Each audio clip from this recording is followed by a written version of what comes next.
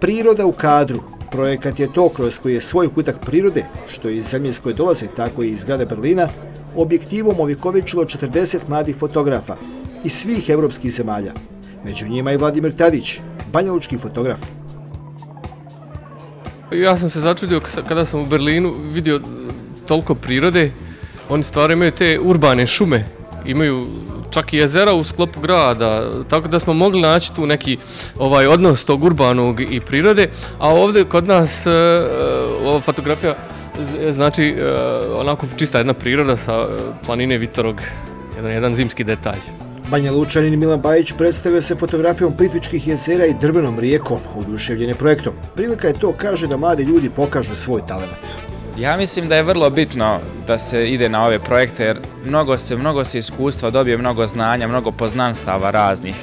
I mislim da je stvarno korisno, ja sam već treći put bio tad u Berlinu na projektu i ne znam, mnogo sam toga pokupio da se ne može jer Čak smo imali razne radionce o fotografiji, o super su bili predavači, znači to su profesionalci ljudi. Projektom je oduševljeni banjalučki fotograf Nikola Tadić, čiju samostalnu izložbenu postavku s nestrpljenjem očekujemo. O samom projektu zna dosta jer su u njegovu realizaciju uključena dva njegova brata. Specifičan je ovo projekat, kaže Nikola. Jako zanimljivo je vidjeti kako je svaki autor u odnosu na neke svoje možda najbolje radove uspio za kratko vrijeme da napravi realizaciju neke, neke dobre fotografije. Tako da... Svi volite pitati koja ti je fotografija ovaj broj 1? Pa ne znam, nisam stigao još uvijek sve da pregledam, ali naravno uvijek ću braće da favorizujem, to, to je svakako, ali stvarno ima jako lijepih radova. Izložba je proizvod jednog projekta kojeg je Omladinski centar Zdravo Daste realizao u partnerstvu sa organizacijom Roterbaum iz Berlina. Oni su partneri Omladinskom centru Zdravo Daste u internacionalnoj ORA mreži, čija je osnivačka skupština održana upravo u Banja Luci prije pet godina.